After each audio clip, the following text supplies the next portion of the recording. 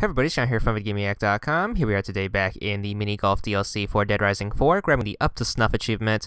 This is to average a par on a course. Now what that means is you need to average a three shot or less on any course. So I recommend doing this on the first course, which is Santa's Village. So since we have to average three or less strokes, we are pretty much going to aim for a hole-in-one on the first course. That way we can uh, mess up and have a little bit of margin of error for the other three.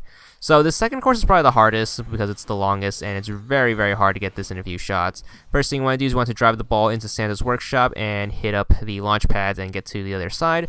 Then you want to hit the Y button to switch out your clubs and you want to use the wedge to get over to the other island or if you're a good enough shot you can try to use the driver since it does have an arc but you want to aim for the back island right here and hopefully you don't overshoot it and go over and land square right here then what you can do is you can switch over to your putter and then try to knock it in.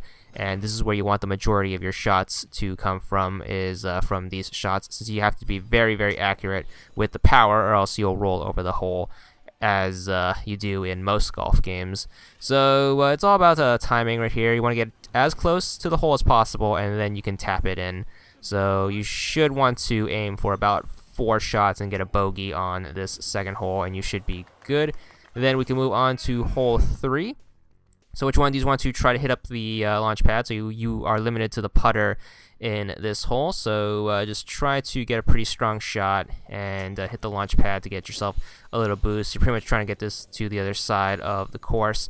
So you have all these explodey barrels, and it's a pseudo game of pachinko right here, where you're trying to get this thing to land towards the bottom in an advantageous spot.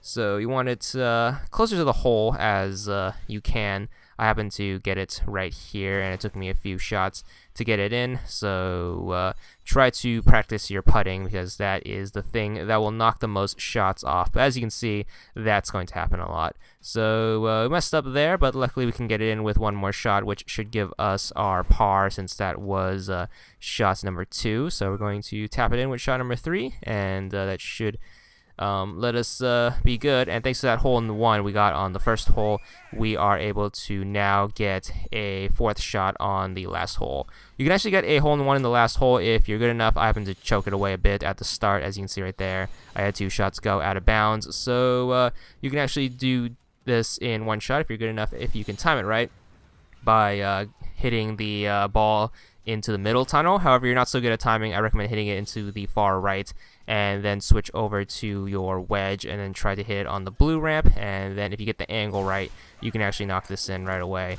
But uh, it might take you a few shots. Lucky for us, that hole in one in the first hole is actually enough to give you a big enough margin of error so you can uh, manage to score two bogeys and one par and still get away with the achievement. There it is, 20 gamer score, and that's all there is to it.